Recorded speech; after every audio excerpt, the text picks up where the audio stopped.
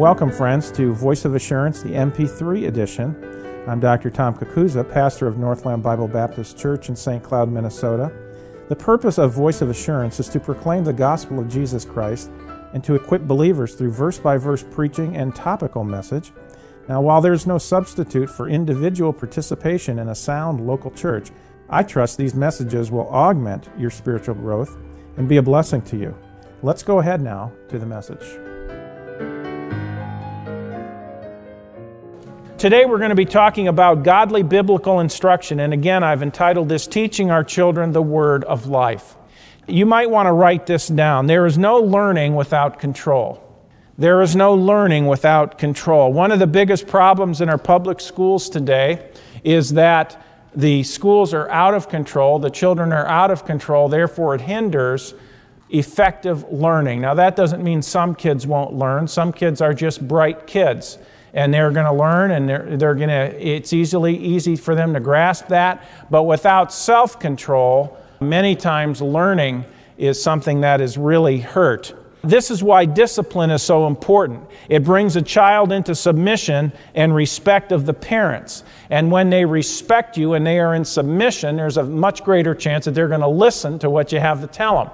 And that listening to what you have to tell them has to do with uh, what is it we're going to tell them? Well, that's what we're talking about this morning, teaching them the word of life. Once they are in submission, then the parents have the responsibility to teach their children the Word of God and the ways of God. Now, listen, don't, don't fall for the stuff that's going on today. It says, well, you know, I don't want to push this on them. I want them to discover their own way and all this.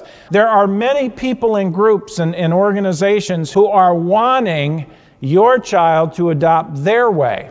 Now, we have a responsibility before God as Christian parents uh, to teach our children God's way. Okay? Now, whether they receive it or embrace it uh, for their own, and I'll talk more about that in just a minute, that's a whole other issue. But we still have the responsibility. Don't think, well, well, you know, I don't want to be accused by anybody of kind of brainwash my kids with Christianity and all this. Number one, that's an insult to God to even say such a thing. You, are, you have the responsibility to teach them the only thing that can deliver their life from destruction. Now you might say, well, what about the church? Isn't that the church's responsibility? The church's responsibility certainly is to make disciples for Christ, but part of that is to equip the parents with what they are to teach their children. And if all your kids get is what they get at church and they're not getting it at home, uh, there's, a, there's a failure there. There's a major breakdown in the plan of God, as we are going to see here in the Bible.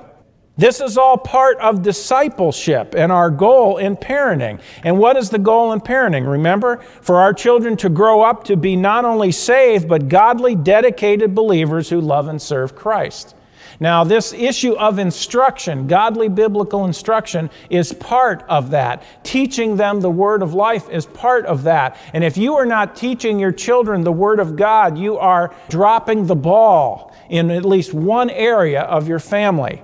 They need to be learning it. Now, I'm going to describe how to do that a little bit today, more about the how to next week, but we're laying a foundation today. Look with me over to Genesis chapter 18 the Lord talking about Abraham, and it says this in verse 19 it says, For I know him, I know Abraham, that he will command his children and his household after him, and they shall keep the way of the Lord, to do justice and judgment that the Lord may bring upon Abraham that which he hath spoken of him, which was, of course, blessing. Of course, now, now what about this teaching? Where does it begin? Well, it begins with salvation. Obviously, it begins with salvation. Can I say this this morning, parents? Listen, don't think your kids are just going to end up saved. Well, they'll catch it. It'll just osmosis into them. Okay? Certainly, we are concerned about their souls, and, if, and certainly if they come to Northland Christian School, we're concerned about their salvation. And if you come to this church, we're concerned about their salvation. But the primary responsibility of your child knowing the gospel and getting saved is your responsibility, your responsibility to be sure that they get it and that they trust Christ as Savior. Now, you can't make them, that's an act of the will, we know that. You can't make them believe But children usually will believe pretty much anything you tell them. That's why you have to be careful what you say. Folks, this begins with the gospel, okay? Now, now it doesn't mean the only thing, the, the first thing you talk to your children about is, is the gospel. Don't bind yourself into that. It's, it's the whole mindset, the biblical mindset. But the gospel is certainly part of that. But here's one thing you don't say. Now, I, I know this may uh, step on some toes, and I don't mean to, but it needs to be said, okay? If you're talking to your child about salvation, don't say to your child, Are you, are you ready to ask Jesus into your heart? That's nowhere found in the Bible. Not one place is that found in the Bible. Nowhere. Are you ready to give your life to Jesus? That's not salvation. Okay, that's dedication. You don't that's don't confuse it. Your children will believe what you tell them. Okay? Uh, uh, I know there's, you know there's a whole line of thinking about the ask Jesus in your heart thing. Well, you know, your, your heart inside you, your heart is a little door. The handle of the door is on the inside, not on the outside, because Jesus is not going to force his way in, okay? He'll knock, but he won't force his way in. Is that really in you? That is not in your body. There is no such thing as the door of a heart, okay? There's no such thing as that. Don't tell your kids that. Tell them the truth. Do you believe the gospel is the power of God into salvation? I do. Then tell them the truth. Tell them what the Bible says. Well, they can't understand it. They can't understand that, but you're telling me they can understand that they got this little door inside their chest and it's only got a handle on the inside? And no. Listen, you'll never go wrong if you say what God says. That's profound and I'm not the originator of that. That is a profound truth. You'll never go wrong if you say what God says, because when you say what God says, you're honoring His word, and God will bless your efforts. Okay? Don't ever tell your children such a thing because it's just not biblical. It's, well, it means the same. It does not mean the same at all. To put your faith in Jesus Christ as your payment for sin is not the same as invite him into your heart or give him your heart or ask him to come in or open the door. There's no door. It has is nothing to do with that. What about Revelation 3:20? We don't have time to cover that today. We've covered it before. I'll be glad to cover it with you personally. Revelation 3:20 those written to Christians, not lost people. And I know that's the one that's used. Anyways, but where does it begin? It begins with salvation. Look at John chapter 3. John chapter 3. More people have been saved on John 3:16 than any other verse. Hey, guess what? Hint. That's a good place to begin when talking to your kids about salvation because you can explain the whole plan of salvation through John chapter 3, verse 16. And look what it says. It says for God so loved the world. See, God doesn't hate the world. Immediately we painting a picture of God. God loves everyone. God loves everyone. Of course, the Calvinists would say, well, he kind of does, but he doesn't. And no, no, no, no. He does. It means what it says and says what it means. For God so loved the world, that's all of us, that he gave his only begotten Son, the Lord Jesus Christ. By the way, Jesus is saying this verse that whosoever believeth in him should not perish, but have everlasting life. We'll stop right there for a second. Uh, what is it saying? God so loved the world that he gave his only begotten Son. What does he mean he gave his Son? Well, certainly Jesus came into the world, but he came to die. He came to die. Here we are as sinners. God loves us, he loves the world, he loves all of us. He hates our sin. To get to heaven, we have to have our sins all gone, they have to be paid for. God says we are responsible for the payment of our sin. It's our responsibility to get a payment for sin. We're the ones who have sinned. Jesus did not sin, we have sinned. Jesus was perfect. And God says we've earned death. The wages of sin is death. And God says if we pay for our sin, it'll be forever in hell. That's the only payment. Death payment is the only payment acceptable. Now, see, there's nothing we could do to work this sin off. Because there's nothing we could do to save ourselves, let this hand represent Jesus Christ. For God so loved the world that he gave his only begotten Son. When Jesus died on the cross, he made that payment for us. He paid for all of our sin. And for the past, present, future, all of our sin has been paid for by Christ. He died, came back from the dead, and you notice what he says? For God so loved the world that he gave his only begotten Son, that whosoever what? Believes in him believes. It means to trust in him or rely upon him. Whosoever believes or trusts in him should not perish but have what kind of life? Everlasting life. You talk to any child, how long's everlasting? It's forever. Or they'll say, it's forever and ever and ever and ever. Does it ever stop? No. But you talk to some theologians, how long's everlasting? Well, we're not sure about that. You know, everlasting could. No, everlasting means everlasting lasting ever, means forever. When you trust Christ as your Savior, He saves you forever. You mean to say that nothing I can do to lose my salvation? That's exactly what I'm saying. You're getting it. You cannot lose your salvation once you have it. You are secure no matter what. Even if I sin, you will sin. God doesn't want us to sin. It's not good to sin, it's always bad to sin, but yes, even if you sin, you will not lose your salvation. Even if I even if I die with unconfessed sin, yes, because if you've trusted Christ the Savior, Jesus, when He died on the cross, He paid for all your sins. You're trusting in Him that He did that for you. And when you do, He gives you everlasting life. See, if, if you have to die with you having confessed your sin, then what you're putting your trust in is your confession, not the payment Jesus made on the cross. Do we see it? There are a lot of people who believe, well, if you die with unconfessed sin, you'll go to hell. Friend, confession doesn't pay for sin. Confession has to do with bringing us back into fellowship, but you're not in fellowship unless you're saved. You can't have fellowship unless you're saved. You need to trust Christ as Savior. Look at verse 17. For God sent not his Son into the world to condemn the world, but that the world through him might be saved. Christ was sent into the world. Christ was not sent into a, a city called the elect. No, he was sent into the entire world. And if he was sent into the entire world, in the verse here, it says, verse 17, the whole world can be saved. And that includes you. Verse 18, he that believeth on him is not condemned, but he that believeth not is condemned already because he has not believed in the name of the only begotten Son of God. Verses that we are familiar with but need to be said. Ephesians chapter 2, verses 8 and 9. Look at these with me. It says this For by grace are you saved, through faith, and that not of yourselves. It is the gift of God, not of works, lest any man should boast. You're saved by faith in Christ. When you trust in Christ, God saves you by grace through faith. The moment you put your faith in Christ, God saves you by His grace, not based on our good works of any kind. A lot of kids, you know, we should be teaching them right and wrong from the very beginning. But many times, what, what happens with that, I would say the majority of times, what happens with that is that kids get the idea okay, then that's how I'm going to get to heaven is by works. And you've got to undo that.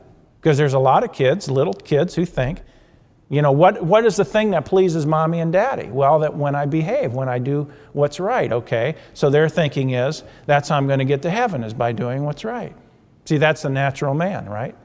You can't go to heaven by doing what's right, by obeying the principles of God's word. That's not how you're saved. You're saved by trusting in Christ as your Savior, not of works, lest any man should boast. Romans chapter 5, verse 8 it says this But God commended his love toward us in that while we were yet sinners, Christ died for us.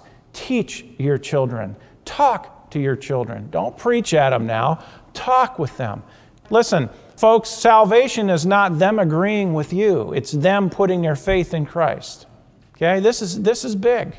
It's more than them just giving you the answers you're looking for. It's them putting their faith in Christ. That's important. Think about it. You don't want your children to end up in hell. We want them to be saved. Now, it begins with salvation, but it doesn't end with salvation. This teaching of the Word is not just the accumulation of knowledge, but the right application of it. And that is what wisdom is all about. We want our children to be wise, not just knowledgeable, we want them to be wise. Not just bright, we want them to be wise. Wisdom is much greater than knowledge, but you have to have knowledge to have wisdom, but it doesn't stop with knowledge, it goes on. There's a lot of very knowledgeable, bright people in this world who are as lost as a ball in high weeds. They don't have any wisdom whatsoever. They're fools, according to God, and yet they're very knowledgeable. There can be no biblical wisdom without the Word of God, for biblical wisdom is based on the Word of God. What is the opposite of a wise person? A fool. A fool. We find spiritual life in the Scriptures. That's why I titled this today, Teaching Our Children the Word of Life. We find spiritual life in the Scriptures. I believe this with all my heart. Any church, any pastor who is truly preaching the Word of God, there will be life in that church if the people are receiving it. If it's being taught and if the people are receiving it and applying it, that church is going to have life. Why? Because it's the word of life. Philippians 2, holding forth what? The word of life, not the word of misery, not the word of death, not the word of legalism, but the word of life. That's what the scripture produces is life in believers. Wisdom. God wants us to have wisdom, but without knowledge of the scriptures, there will be no wisdom. Proverbs chapter 4, in verse 5, it says this Get wisdom, get understanding, forget it not, neither decline from the words of my mouth. Forsake her not, and she shall preserve thee. Love her, and she shall keep thee. Wisdom is the principal thing. Therefore, get wisdom, and with all thy getting, get understanding. The ultimate goal is for our children to follow Christ because they see the value of it. Now, that's wisdom. Pastor, what are you getting at? Okay? It's training and teaching them to where they have a Christian worldview and their value system is a biblical one. But this is something that somewhere along the line the children must embrace for their own. And this is a fear, and it's a regular fear. And listen, it's part of parenting, folks. This is part of parenting. It's coming. If you don't already have this in you, it's coming. But you have to trust the Lord and you have to be faithful in the things that we've been talking about when it comes to training children and discipling our children. Somewhere along the line, they must embrace it for themselves. It's not enough for them to simply cooperate with you. They have to see the value of the scriptures. And somewhere along the line, you have to teach them how to have their own, as believers now, you need to teach them how to have their own walk with God and their own devotions and their own time alone with the Lord. And they need to develop their own prayer life. Why? Because you can't do it for them. And as they get older, this has to be something that they desire. Now, how are they ever going to desire it if we're not even teaching them the truth to begin with? And let me say this they'll never desire it if you're not doing it. Well, I take that back. They probably won't desire it if you're not doing it. Because if they have the Holy Spirit, He's still working in their lives.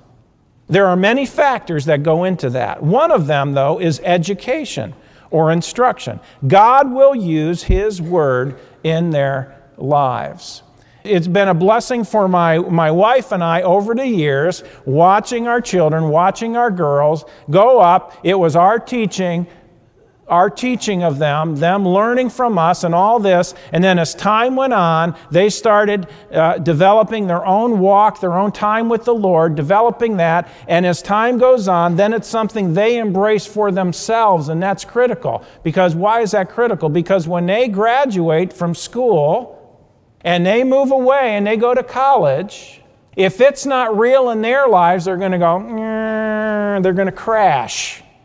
It should be there before they graduate. This is a goal in this area of godly biblical instruction. Okay? Look with me to Deuteronomy chapter 6. Deuteronomy chapter 6. This is this passage, you know it. We've seen it many times. It's a foundation, I believe, on education in the scriptures, along with in the New Testament, Ephesians 6 4. Deuteronomy chapter 6, verse 1. Now, these are the commandments, the statutes, and the judgments which the Lord your God commanded to teach you, that you might do them in the land whither you go to possess it. That thou, you notice, by the way, God's people are to be people of His word. Do we see that? You know, there's a lot of churches today, these new churches, no one brings a Bible. No one brings a Bible. If you bring a Bible, you feel like you're, uh, you're sticking out like a sore thumb. That you might do them in the land whither you go to possess it, that thou mightest fear the Lord thy God, to keep all his statutes and his commandments, which I command thee, thou and thy son, and thy son's son. Look at that. Four generations. All the days of thy life, that thy days may be prolonged. Hear therefore, O Israel, and observe to do it, that it may be well with thee. You notice what's the result of doing it? That it may be well with thee and that you may increase mightily as the Lord God of thy fathers has promised thee in the land that floweth with milk and honey. Hear, O Israel, the Lord our God is one Lord, and thou shalt love the Lord thy God with all thine heart, and with all thy soul, and with all thy might. Stop there for a moment. I want to cover two main issues here with the remaining time this morning. The first is this this is what is called in the Bible the Great Commandment. This is where it begins. Now, notice that before the issue of teaching the scriptures comes into the picture, I'm, I'm talking about the ex, really heavy explanation of it here. Notice that our daily walk with the Lord is put forth. The direction to the parents is first and foremost, you need to be right with God. You need to be right with God. Your relationship needs to be right with God. You need to love the Lord your God. Look at the language there.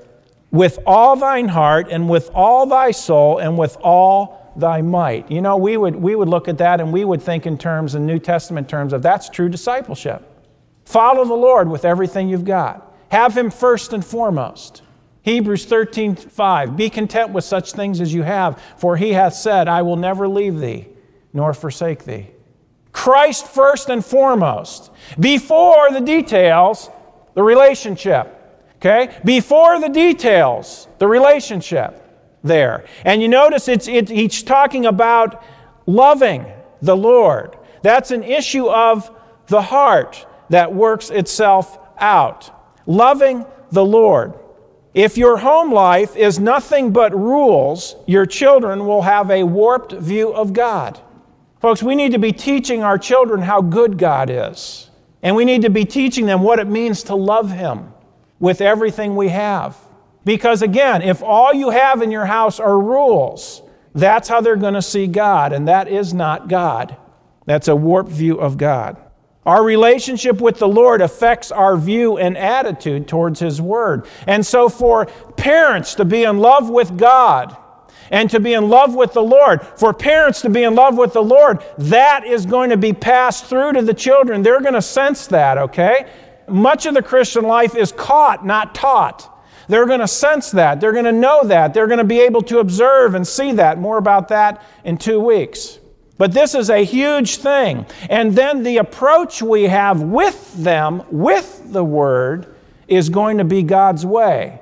It's going to be based on a, there's going to be a mentality and an attitude of love and grace, not do this, do that. The Bible says do this, do that, do this, do that. And if all you have is rules, and if that's all they know is rules, it's a legalistic approach. You might say, well, but, but the principles are there. Yes, they are. They are there. And we are to obey. And they are black and white. But they're not divorced from our great God who loved us and sacrificed his life for us on Calvary. Parents, it is impossible to lead our children somewhere we are not going ourselves. You just can't do it. You just can't do it.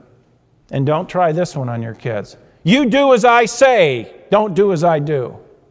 You might as well just resign your kids. I've lost them and I don't care. Don't do that. Oh, how children suffer because of their parents. You see, in, in uh, Deuteronomy 6 5, this is called the Great Commandment. And the Great Commandment is to love the Lord with everything you have. If we don't truly love the Lord, our children will know that. And why should they love the Lord if mommy and daddy don't love the Lord? Why should they? Look at verse 6, Deuteronomy 6 6. And these words, you notice and? Comes after loving the Lord first and foremost. And these words which I command thee this day shall be in thine heart. Thine heart. It doesn't say, in these words which I command thee this day shall be on the coffee table, gathering dust till next Sunday. Where are they supposed to be? In the heart. You know what that is? That's the mentality of, I have willingly received them because I know that this is a blessing from God. There's a good spirit, there's a right spirit there. It's, it's an issue of relationship, not rules, folks. It's an issue of relationship. They shall be in thine heart, and thou shalt teach them diligently unto thy children. Yeah, you will do it diligently and passionately and lovingly if they're in your heart and you want those things and you love the Lord and you want to live for Him. Thou shalt teach them diligently unto thy children, and shalt talk of them when thou sittest in thine house, and when thou walkest by the way, and when thou liest down, and when thou risest up. And thou shalt bind them for a sign upon thine hand, and thou shalt be as frontlets between thine eyes, and thou shalt write them upon the posts of thy house and on thy gates. Now you look at that, and you know, hopefully there's no one here who takes this approach. Whew, boy, those are a lot of rules I've got to do. You're missing it. It flows out of our relationship with God. We are so in love with the Lord and we want to please Him with our lives that we can't wait to tell the kids how great the Lord is and how great His Word is and to teach them the Word of God all the time. It ought to be natural, okay? Natural. Be natural in your spiritual life and spiritual in your natural life. It should be our lives. It should not be a rigid, okay, it's Bible time. No, everywhere we step is supposed to be Christianity. Paul said, For to me to live is Christ, and to die is gain. So they should be getting it all the time. They should be getting it all the time. And again, uh, listen, this is not talking about every time you see your child and every moment they live, you're quoting Bible verses to them and preaching at them. Listen, Billy, thus saith the Lord, thus saith the Lord, Billy. Listen, this, you're going to lose them. You're going to lose them if that's the way you are. Okay? You're going to lose them. It begins in the heart, the innermost being. Don't have a legalistic approach to the Bible because that's not God's approach. What does it do? It preserves us, it delivers our lives. We saw in Proverbs, right? Boy, that's something we ought to embrace, folks. We ought to say, wow, this is a miracle book that God has given us. What a gift. What a glory to sit down and read and let God speak to us through the book, not Okay, it's time for the Bible. Sad to say, some parents are that way.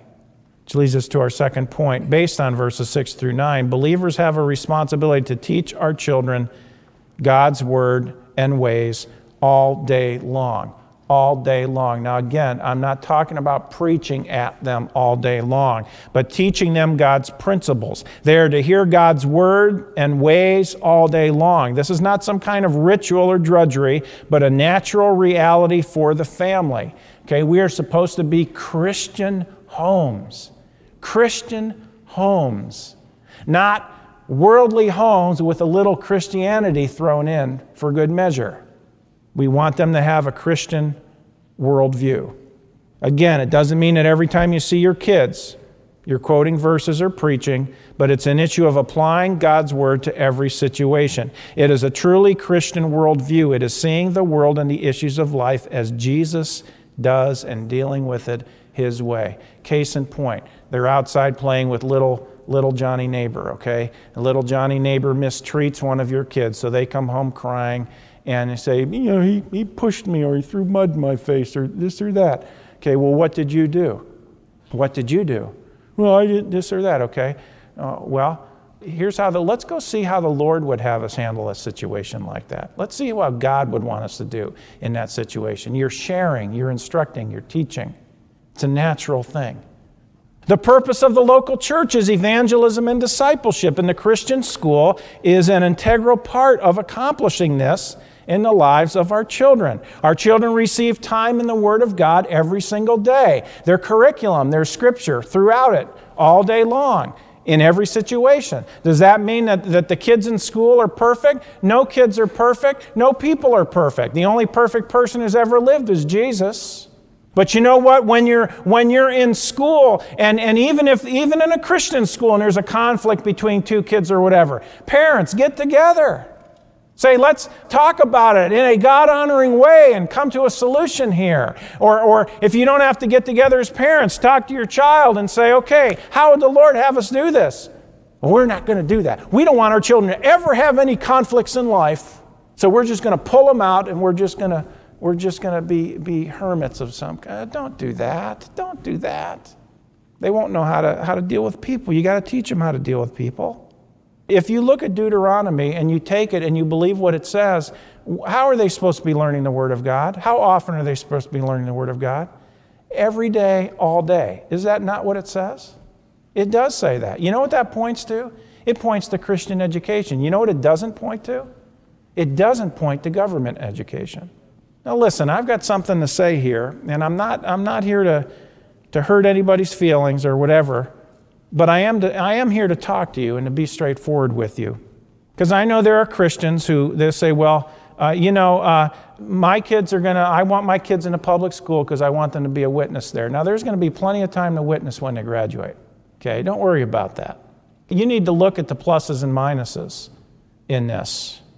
Deuteronomy 6, 1 through 9, cannot be accomplished in a government school. It cannot. It cannot be accomplished in a government school. In many ways, just the opposite is happening. The children are being taught ideas that contradict and undermine the Bible and what Christian parents are trying to accomplish. There's a battle for the minds of the children. Now, listen, don't misunderstand what I'm saying. I'm not saying there aren't some dedicated Christians in the public school system. I'm not saying that. I'm not saying that every public school teacher, you know, has fangs and a pitchfork and a tail and they're all demonic and all. I'm not saying that. That's just not true. There are some wonderful people who are teachers in the public school system. However, they are not the ones who create the curriculum. And the curriculum has an agenda. You might say, well, I don't. Uh, uh, uh, well, yeah, that school over there, but my kid's in this public school. No, listen, the curriculum, there's a consistency usually with the curriculum. There may be some exceptions, but there's a, usually a consistency. Uh, see, there's a whole worldview involved in this, folks. There's a worldview. You might say, well, I don't understand that. Here's an easy one for you. Anybody can get this one. When they talk about the beginning of history, where do they begin? Is it not the Big Bang? Or if they talk about the beginning of man's history, is it not at the point when he quit dragging his knuckles when he walked? Sure, it is. You know what that is? That is a pagan worldview. You might say, well, that's not going to affect anything. Yes, it is. Because if they embrace that, they're going to go backwards to look where does all this begin and it begins with no purpose whatsoever and they're, and they're going to be taught their lives of no purpose might say, Well, I'm still not convinced. Well, listen to this. This is taken from the book or article, Learning to Stand for Truth. Coach Dave Daubenmire, Pro Family News, November, December 2006. Here's a question you can ask people who have their children in a public school. And let me say this this morning if you have your children in a public school, here's some questions for you. I come as a friend, and I come as a pastor, and I come because I love you, and I want to share these things with you, but I want you to think this through. Do you believe that God created you? I say, oh, yes. What is the school teaching your child? Were they created or are they an evolutionary accident? Do you believe in abstinence? Oh, yes. What does your school teach? Condoms. Do you believe that homosexuality is normal? What does your school teach? Do you believe that all families are equal? What does your school teach? Do you believe in absolute truth? What does your school teach?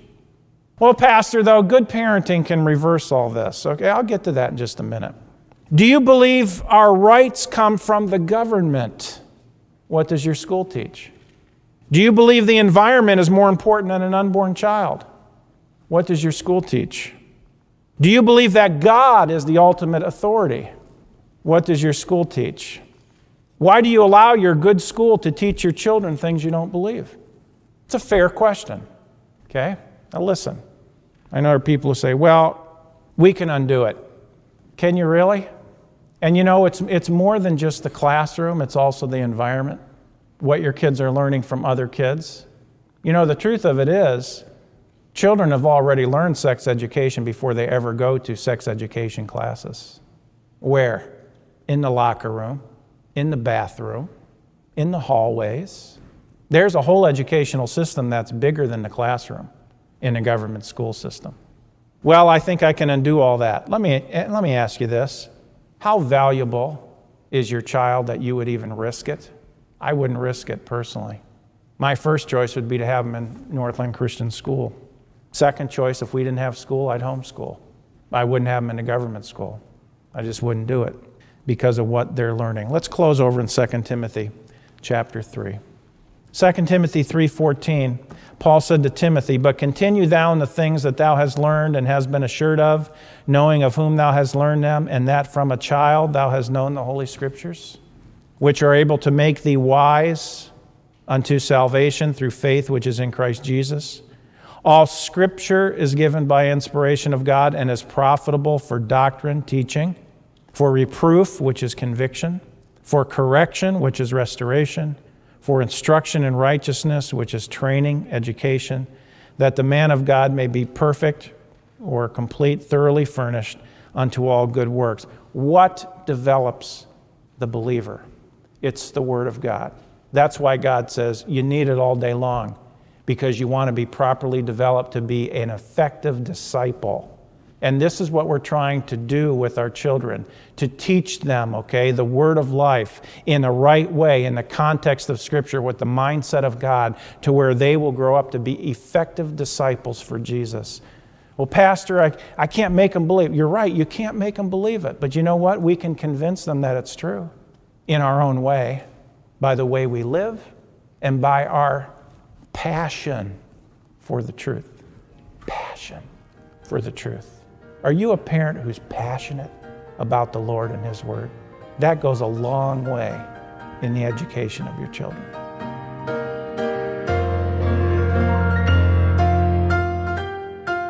Well, friends, that concludes this edition of Voice of Assurance. Thanks so much for listening, and would you share this ministry with a friend? To contact us or learn more about our ministry, please visit www.northlandchurch.com. Your prayers and support for this ministry are greatly appreciated. Thank you so much, and God bless you.